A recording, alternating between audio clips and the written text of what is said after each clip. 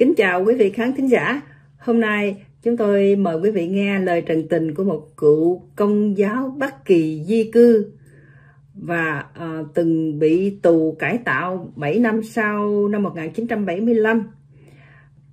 Tác giả này hiện giờ ở hải ngoại mà cũng là người điều hành ba cái diễn đàn thư tín là diễn đàn dân tộc, tự do ngôn luận và dân tộc tự quyết thì à, bức thư sau đây tác giả đã gửi ra các diễn đàn thư tín nhiều lần rồi à, để trả lời một số luận điệu của một vài thành phần hoạt động chống cộng đó.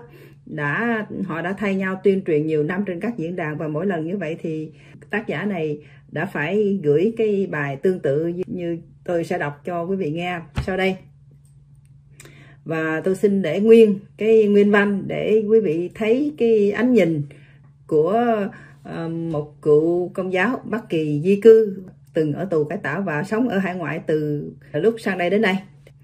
À, ờ, xin nhắc lại cái lời tựa là lời trần tình. À, tác giả ký tên là An Nam, gửi ra ngày 21 tháng Giêng từ hồi năm 2017. Các nhân sĩ à, làm ơn phổ biến những cái điện thư có tính cách, có ý nghĩa tương tự như điện thư này là một trong những đóng góp cần thiết cho dân tộc, nhất là trong thời gian này, thời gian mà đất nước có thể đi vào một bước ngoặt mà chế độ cộng sản sắp có. Chỗ này à, xin mở một cái dấu ngoặt là theo cái góc nhìn của tác giả vào năm 2017 có lẽ là dựa theo dư luận nào đó thí dụ như uh, hiệp ước thành đô gì đó của uh, những cái người hải ngoại tung ra nhưng mà cái uh, chủ ý của tác giả đó là chú ý tới thành phần Việt gian. Được nêu ra trong chuỗi điện thư này chỉ có hai con đường để đi. Thứ nhất là trở về với dân tộc. Thứ hai là nếu không thể hồi đầu thì phải được tách rời khỏi đại khối dân tộc vì sự nguy hại mà cha mẹ, ông bà họ đã và sẽ tiếp tục làm cho dân tộc mình. Có lẽ một số người không dám thừa nhận một điều, đó là đa số người ta đã lựa chọn điểm một ở trên Điểm 2, dù lực bất tòng tâm, nhưng chúng tôi sẽ cố gắng hết sức và vẫn còn tùy vào vận mệnh của dân tộc mình có đủ sức để vượt thoát khỏi vòng kềm tỏa đau đớn này không thôi. Hai điểm A và B dưới đây cần được hiểu minh bạch. Thứ nhất, đoàn kết dân tộc thì không thể đoàn kết với Việt gian. Thứ hai, tách thành phần Việt gian ra khỏi đại khối dân tộc thì không phải là chia rẽ Tại vì à, mỗi một lần mà chúng tôi tranh cãi về vấn đề à, thành phần nào là dân tộc và à, dành cái phần chính nghĩa cho phe cách mạng ở miền Bắc đó thì chúng tôi bị liên tiếp họ cứ đem cái vấn đề chia rẽ ra. Thành ra ờ, cũng giống như chúng tôi tác giả này cũng nói là tách cái thành phần Việt gian ra khỏi dân tộc thì không phải gọi là chia rẽ. À, sang phần uh, kế ông ta đánh thẳng về vấn đề nhắm thẳng về vấn đề. Về cá nhân ông Ngô Đình Diệm. Đọc những bài viết nói về cá nhân ông Ngô Đình Diệm tôi xin được viết ít hàng cũng trong phạm vi cá nhân ông Ngô Đình Diệm.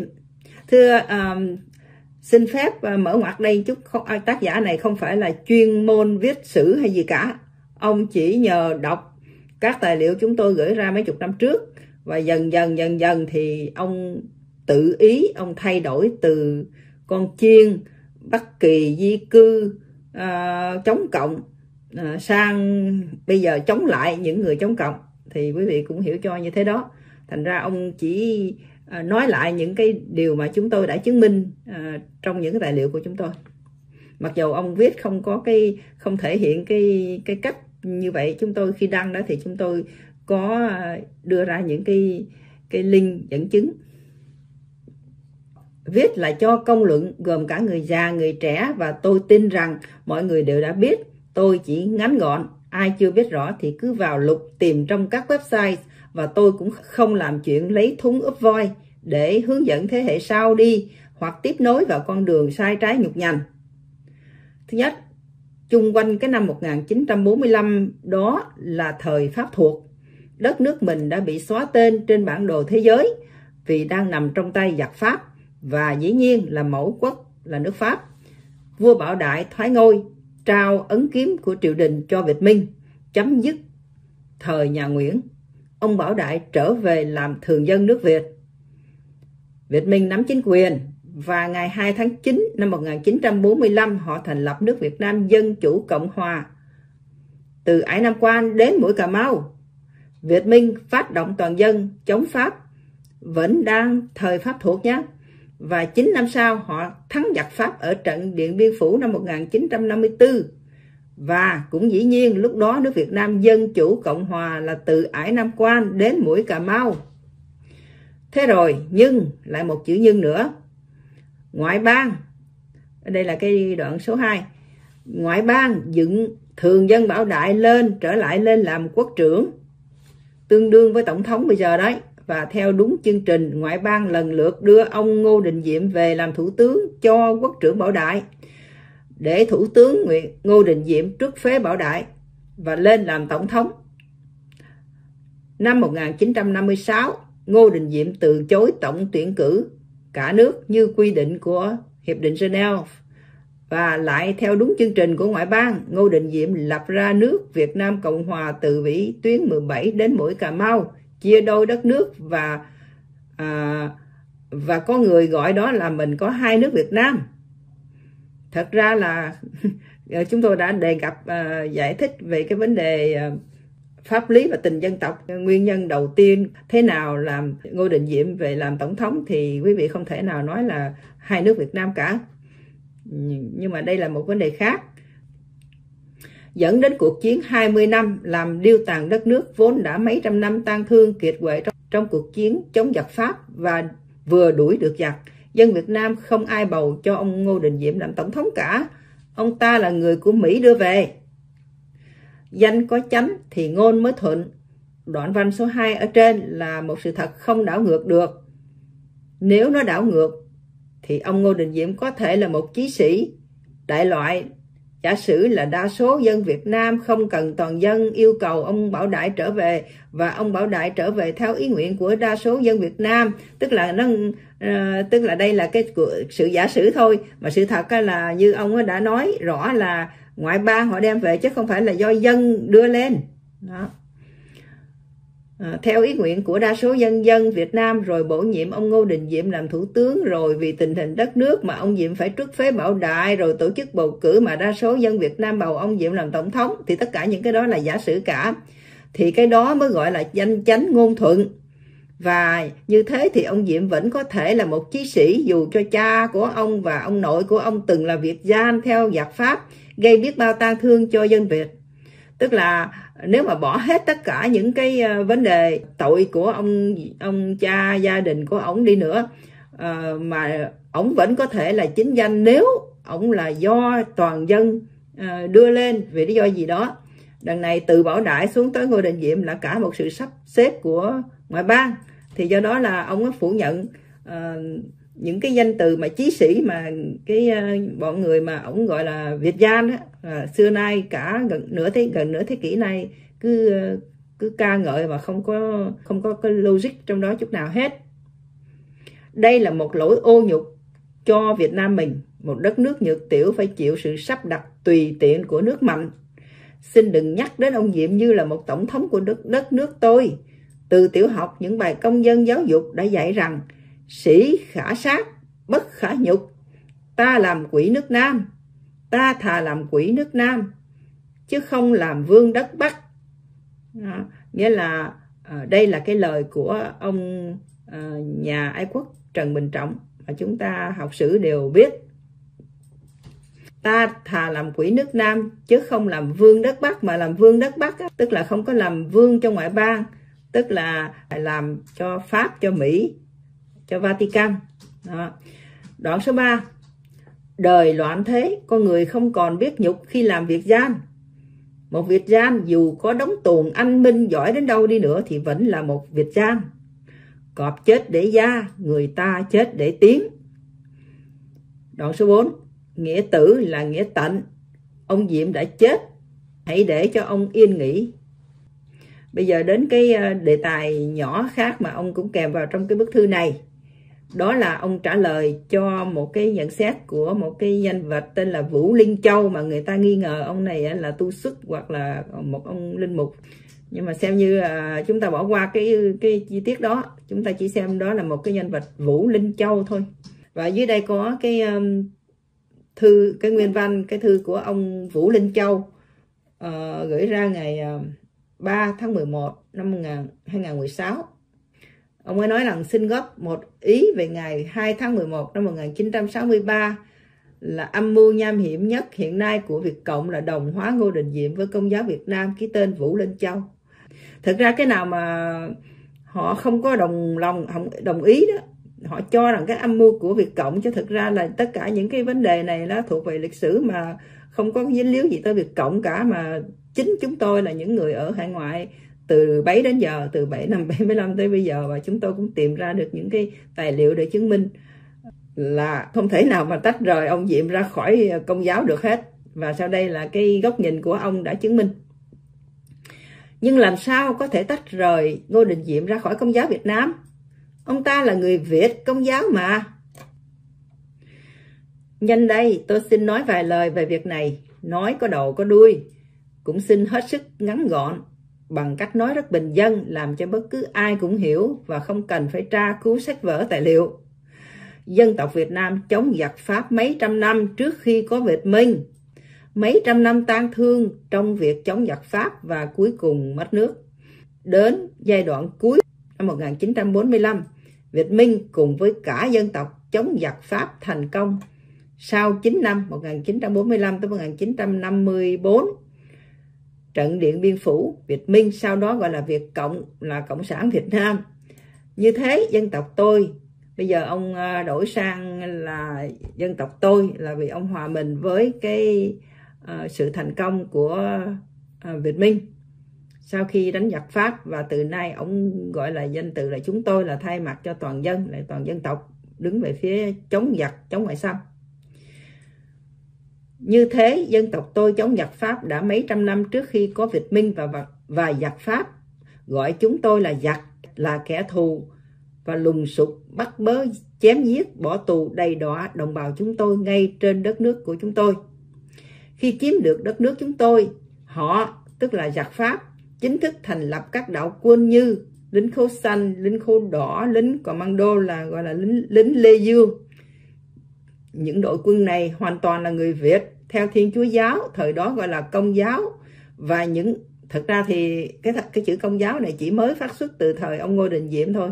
Còn ờ, trước kia đó thì chỉ có cái đạo ờ, công giáo La Mã, Thiên Chúa giáo La Mã ở Việt Nam và người ta thường gọi cái, những cái người theo đạo đó là đạo Thiên Chúa thôi.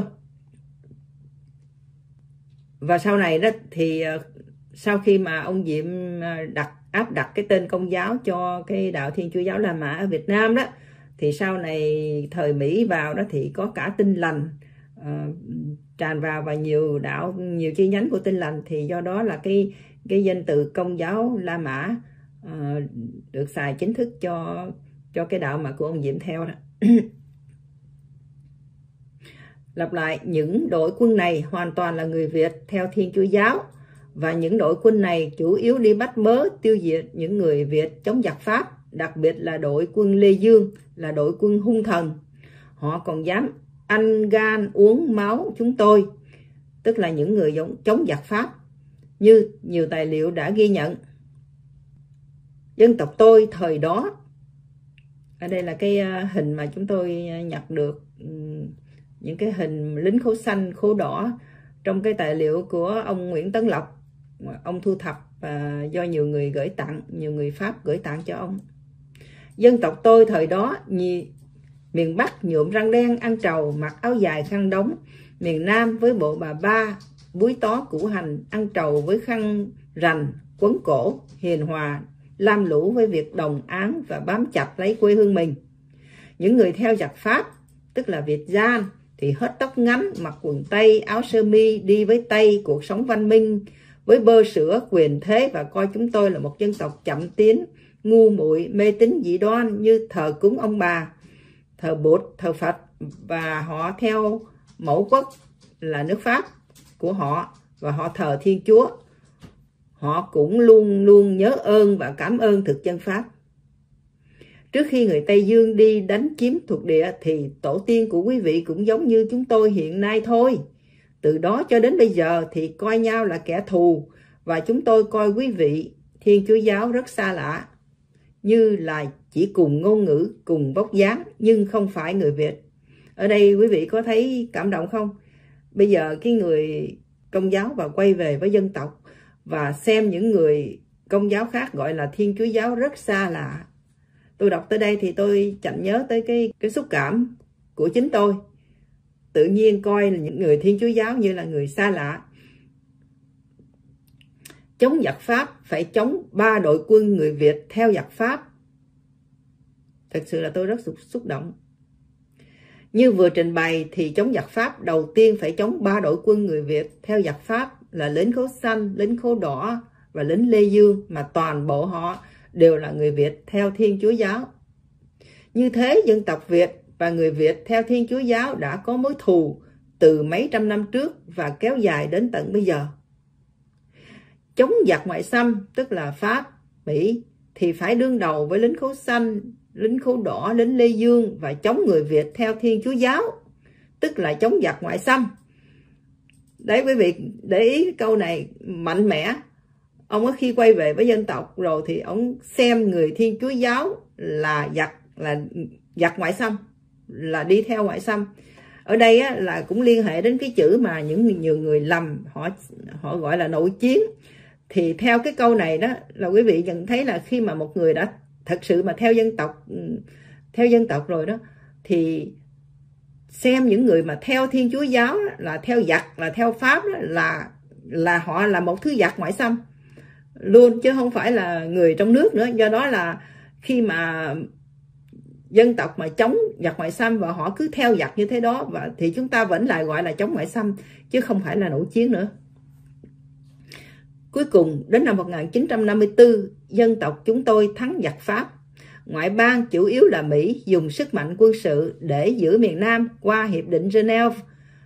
Họ đưa một chiến sĩ Thiên Chúa Giáo tên Ngô Định Diệm về lãnh đạo miền Nam. Họ giao lại toàn bộ binh lính, tướng tá người Việt là Việt Giang theo Pháp cho Ngô Định Diệm. Thì thử hỏi dân tộc Việt sao lại không nghi ngờ? Ngô Đình Diệm theo đúng chương trình của ngoại bang là đưa ngay một triệu dân Bắc Thiên Chúa Giáo vào Nam để làm hậu thuẫn cùng với viện trợ Mỹ và lực lượng binh lính tướng tá của giặc Pháp để lại rồi lập ra cuộc chiến chống cộng. Quốc là quốc gia tức là ông Diệm và một triệu dân Bắc Thiên Chúa Giáo và lực lượng binh, binh lính tướng tá của giặc Pháp để lại là Việt Giang còn cộng là cộng sản là tất cả những người chống giặc pháp mà họ là quốc, là cố tình gọi chung là cộng. Cộng chỉ cùng với dân tộc chống giặc pháp ở 9 năm cuối cùng, trong khi dân tộc việt chúng tôi chống giặc pháp từ mấy trăm năm trước khi có cộng. Ông ngô đình diệm làm dân tộc việt phải nghi ngờ nên nên họ phải vào bưng lập ra mặt trận giải phóng, tập kết ra bắc, nhận súng đạn từ cộng để chiến đấu tiếp tục còn số còn lại thì không vô bưng hay tập kết gì cả, nhưng chống quốc và bị miệt thị là thành phần phản chiến, thành phần thứ ba. Phải theo quốc mà dấy lên cuộc chiến quốc cộng mới có chánh nghĩa hay sao? Mới là người quốc gia chân chính hay sao? Những năm đầu khi ông Diệm lãnh đạo miền Nam thì Việt Nam ở cả hai miền. Cuộc chiến chưa bắt đầu vì cộng chưa đủ thực lực và lại đang nghe ngóng xem ông Diệm treo bản hiệu chống Pháp có thật hay không miền Nam 5 năm thanh bình 1955 đến năm 1960. Đến khi thấy ông Diệm chỉ là treo đầu dê bán thịt chó, thì chiến tranh bùng nổ và vì Cộng cũng đã có đủ thực lực rồi. Nên nhớ rằng cha của Diệm là Ngô Đình Khả và ông nội đều là Việt Gian theo giặc Pháp và một triệu dân Bắc Thiên Chúa Giáo vào Nam vì họ có nhiều nợ máu với dân tộc Việt. Đàn ông thanh niên thì đi lính cho giặc Pháp đàn bà trẻ con thì sống trà trộn với dân thường và báo cáo với giặc Pháp qua cha cố Thiên Chúa Giáo. Những thành phần chống Pháp, cô Định Diệm không chỉ đơn thuần là người có công định cư cho một triệu dân Bắc Thiên Chúa Giáo mà ông đưa họ vào Nam để làm hậu thuẫn quyền lực cho ông và nhân tiện cứu họ thoát khỏi sự trừng trị của những người chống Pháp nhất cử lưỡng tiện. Như thế thì làm sao có thể tách ông Diệm ra khỏi công giáo? Chúng tôi, những người điều hành ba diễn đàn, diễn đàn dân tộc, tự do ngôn luận và dân tộc tự quyết, những năm trước đây đã đưa ra nhiều điện thư có nội dung tương tự điện thư này. Lúc thì lời lẽ mạnh bạo, lúc thì mềm dẻo bởi chúng tôi tự biết rằng chúng tôi nay đã già, lực bất tòng tâm, sức cùng lực kiệt, không giúp gì được cho quê hương. Đất nước mình chỉ có thể làm được những công việc nhỏ mọn như đã và đang làm lâu nay trên các diễn đàn. Mong rằng dân tộc mình ý thức được những điều cần ý thức trong thời buổi nhiễu nhương này. Mới đây, nghe thấy rằng ngoài một số nhỏ người Việt hải ngoại muốn nối chí họ ngô và một nhóm thanh niên nào đó ở Việt Nam cũng vậy, chúng tôi cũng lo cho dân tộc thời hậu Cộng sản bởi vì như thế lại có nội chiến.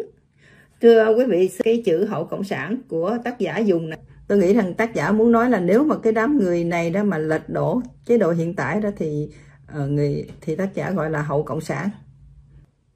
Chúng tôi cũng lo cho dân tộc thời hậu Cộng sản bởi vì như thế lại có nội chiến vì dù sao cũng có nhiều người đã đổ xương máu ra cho hai màu cờ vàng đỏ. Đưa vàng ra thì những người theo đỏ chống và đưa đỏ ra thì những người theo vàng chống. Làm sao tái thiết đất nước trong khi kẻ thù truyền kiếp của dân tộc lúc nào cũng rình rập.